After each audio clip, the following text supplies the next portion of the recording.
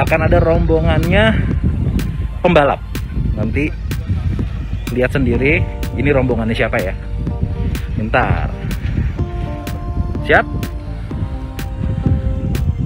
Ini dia nih. Nah kalau yang ini direksi-direksi MGPA sebelum kita ketemu. Pak Samsul Direktur Operasional. Pak Aji Direktur Finance. Mas Ikin dari IMI dan ini dia siapa nih?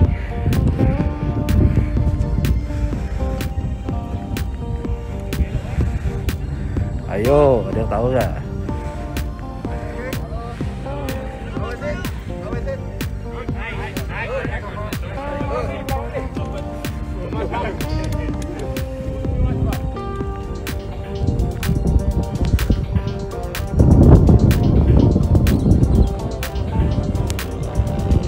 nanti ada lagi di depan.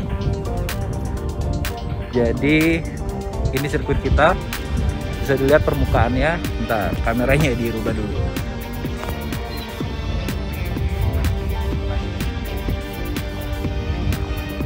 Sekarang juga kebetulan kalau bisa dilihat di kanan di kiri ada banyak orang. Ini adalah pelatihan simulasi martial yang akan bertugas besok penting banget untuk martial-martial ini uh, melakukan simulasi ini. Karena dari sinilah uh, mereka akan terbiasa kalau tiba-tiba besok ada kejadian harus ada tindakan mereka jadi terbiasa. Nah ini adalah salah satu post martial. Nanti mereka bukan berdiri di sini tapi berdirinya di belakang. Di belakang sana. Nah ini salah satunya nih. Dia udah siap nih bawa bendera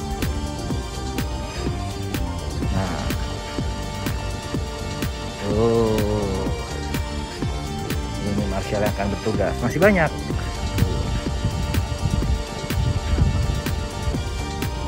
Martial-Martial ini juga sudah pengalaman kemarin di World Superbike. Jadi kita memang merekrut kembali mereka dan mereka ini semua orang lokal asli dari Lombok. Jadi memang masyarakat Lombok pasti merasa memiliki banget tentang balapan ini. Kerbnya ada yang dari aspal nih, ini kerbnya nih.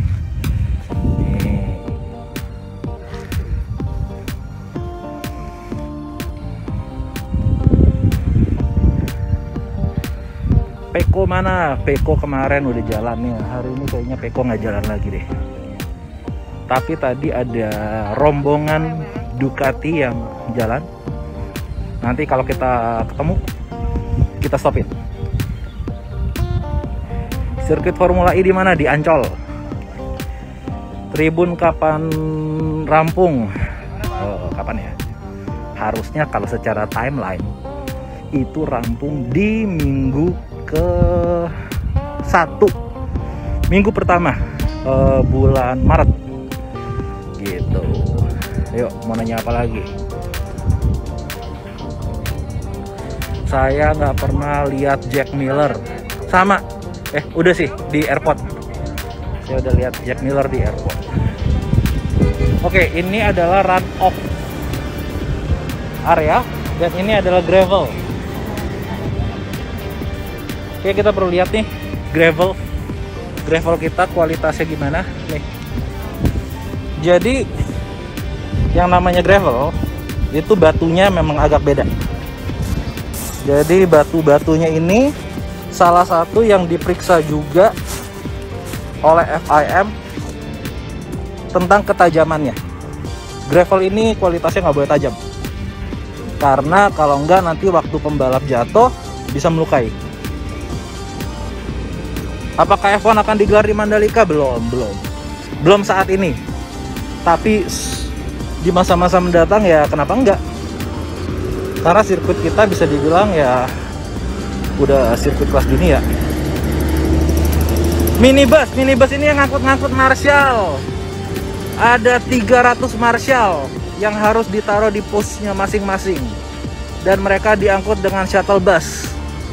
Luas sirkuit ini 4,31 kilo jadi ini semua isinya Marshall semuanya itu itu Marshall yang akan bertugas jadi tuh dijemput kan tadi Marshall yang kita lihat di situ dijemput udah selesai waktu latihan dan simulasi mereka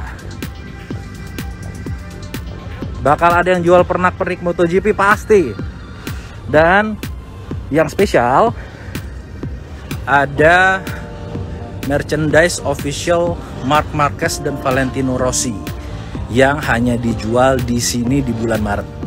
Jadi kalau nggak dateng ya nggak bisa beli.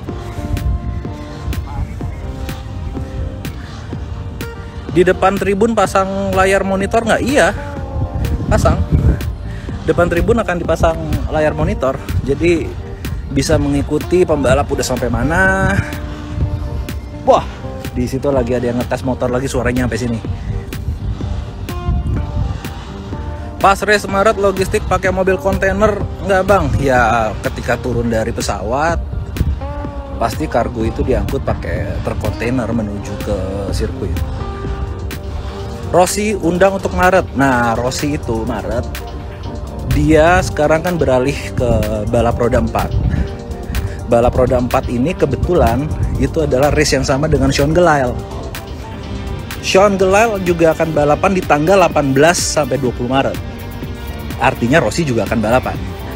Makanya Rossi nggak bisa datang ke Mandalika di bulan Maret. Itu jawabannya.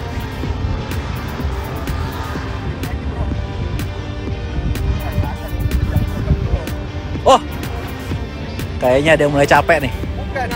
Oh, oh diminta balik. Oke. Okay. Kayaknya kita harus balik badan karena ada kunjungan Bapak Menteri Sandiaga Uno datang ke sirkuit Pertamina Mandalika International Street Circuit. Jadi kita balik lagi.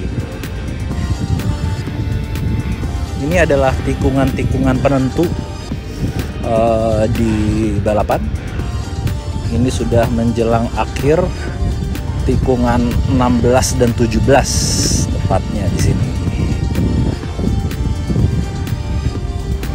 Bukit 360 mau dijadiin apa? Bukit 360 nanti akan ada area menonton hospitality.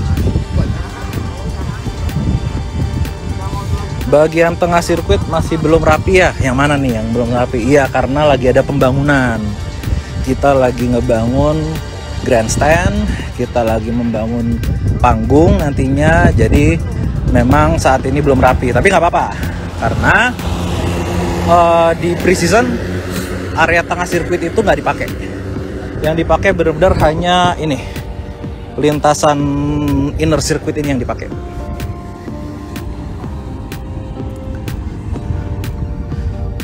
Luka Marini di mana? Wah, belum tahu. Karena gini, pre-season ini gak ada jadwal pasti.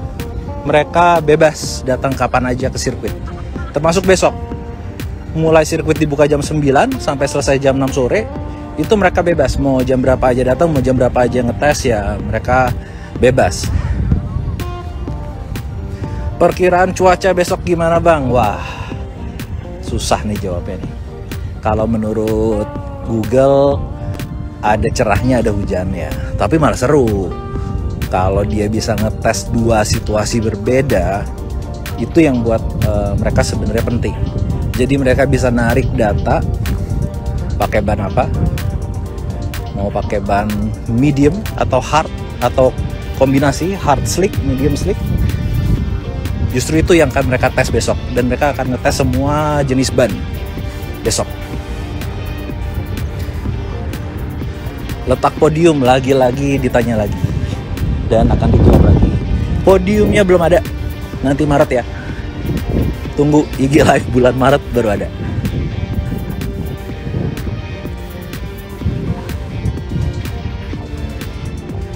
Tambahin bahasa Indonesianya.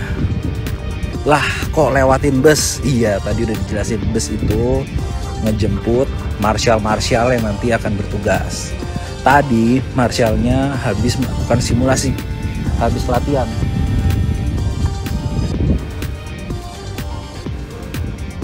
Loh kok tambahin bendera Singapura bendera Indonesia dong? Jadi pengen ke sirkuit Mandalika betul. Harus ke sini.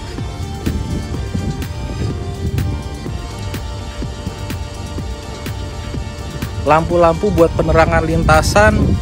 Memang lintasan kita bukan uh, seperti di Qatar yang bisa melakukan night race. Lintasan kita ini hanya bisa melakukan day race. Jadi kita memang eh, nggak uh, ada lampu-lampu yang besar. Wah nih salah satu kru jogging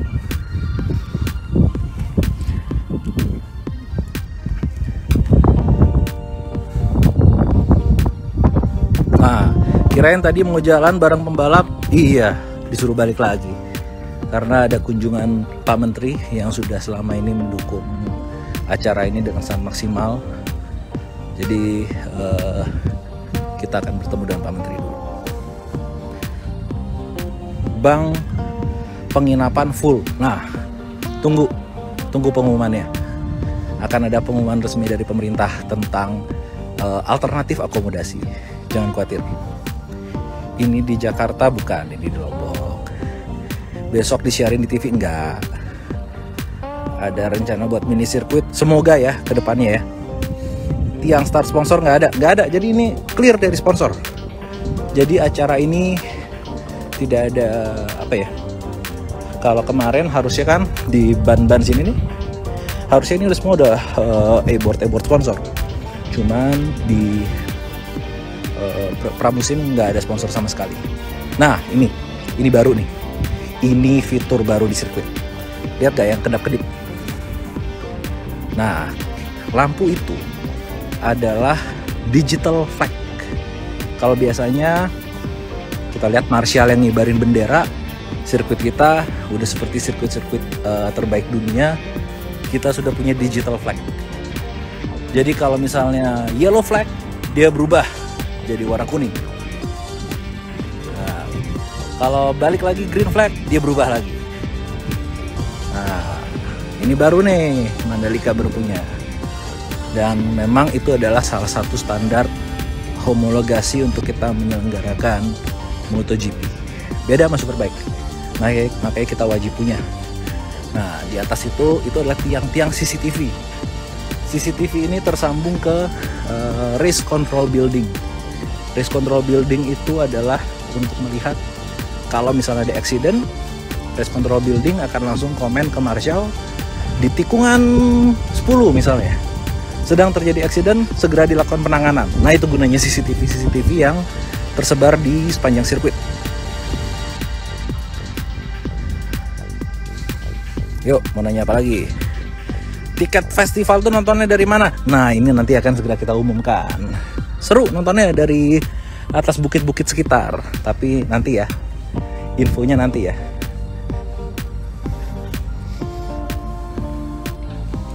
Pengurangan personil Marshall enggak tetap. Marshall 300 tetap ada. Kan kita nggak tahu yang namanya mesin. Kalau ada kerusakan teknis harus ada backupnya. Tetap dibutuhkan Marshall nggak berkurang. Jumlahnya tetap 300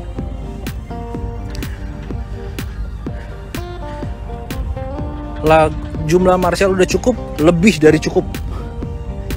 300 yang akan bertugas kita masih punya backupnya sekitar 200 tambahan lagi untuk backup masih ada. Nggak akan kurang. Pengen lihat motor-motor balap lagi dipanasin tadi udah. F1 jadi di Mandalika belum saat ini. Bro Fabio di mana? Mungkin sih masih di pedok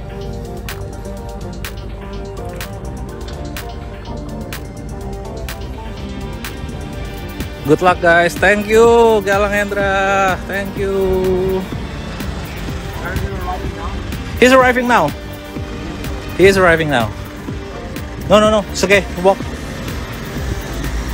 Itu namanya Carlos Espeleta, Managing Director Dorna Sports, orang nomor satu Dorna setelah Carmelo Espeleta.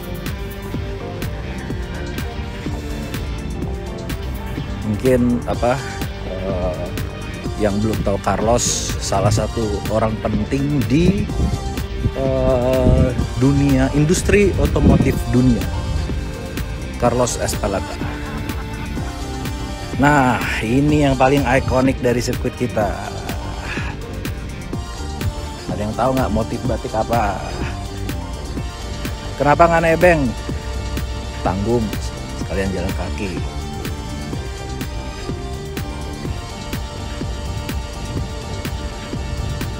gimana? Keren ya. Anaknya Carmelo bener. Anaknya Carmelo. Sudah di follow bosnya MotoGP. Marquez mana? Marquez sudah pulang. Kalau lihat di instastory IG ini tadi kita sempat ngerekam waktu Marquez sama Paul balik ke hotel kayaknya capek banget suaranya iya nih. Lumayan jalan muterin sirkuit. Songket itu Wes. Dorna itu perusahaan betul. Jadi Dorna itu yang perusahaan pemilik dari MotoGP dan World Superbike. Jadi Dorna lah yang mengizinkan negara-negara mana yang boleh didatangi oleh MotoGP. Dan itu tadi Carlos dia salah satu penentunya. Anaknya Carmelo orang dalam. Iya iya orang dalam lah dia. Kenapa nggak naik sepeda? Jalan aja. Lebih lebih lebih lebih bikin capek. Keren yes makasih. Catnya emang gak rata bukan gak rata. Jadi ini dulu bekas-bekas aspal eh bekas aspal. Bekas-bekas ban yang menempel.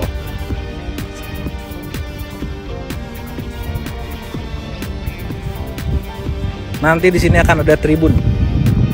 Ini adalah tribun premium menuju tikungan terakhir. Nah kalau dilihat kita kalau ke sana balik ke starting grid kiri masuk ke pit lane. Kita akan masuk ke pit lane zoom aspalnya wah gimana ya zoom aspal ya? Lihat pori-porinya. Cakep banget. Lihat tuh. Ini yang namanya stone matic aspal. Ini yang lagi ngomong siapa? Aduh. Admin admin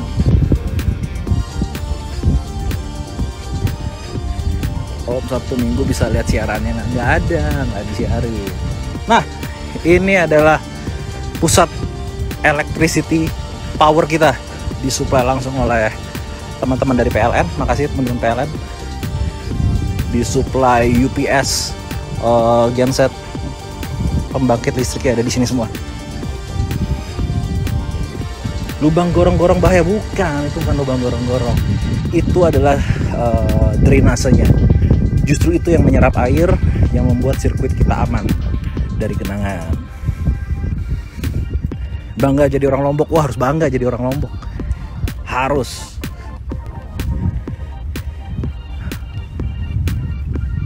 Nggak capek min? Capek lah. Lumayan nih jarang olahraga jalan-jalan di sini. Itu pedok belum final design kan? Ke depannya mungkin akan berubah. Ini ternyata Chef Arnold. Bukan lihat muka admin jangan dong. Ini lintasan masuk ke pit. Kembali lagi itu ada CCTV yang tersambung langsung ke race control building.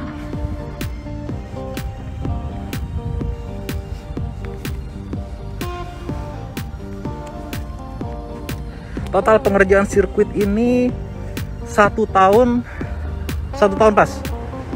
Ya total pengerjaan sirkuit ini satu tahun.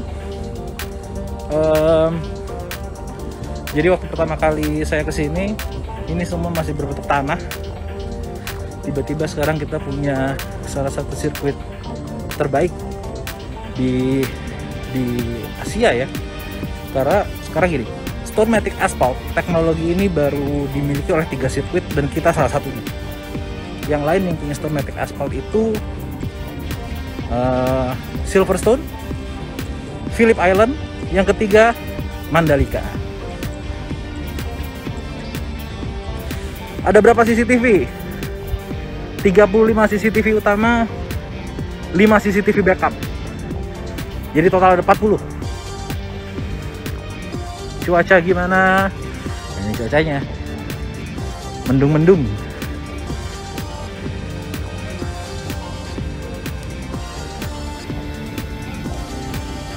oh. Ada Franco Uncini ada Loris Capirossi yang baru selesai muter.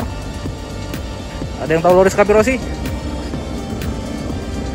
wah mungkin ada yang pada dengar suara motor. Penasaran motor apa itu? Ini dia motornya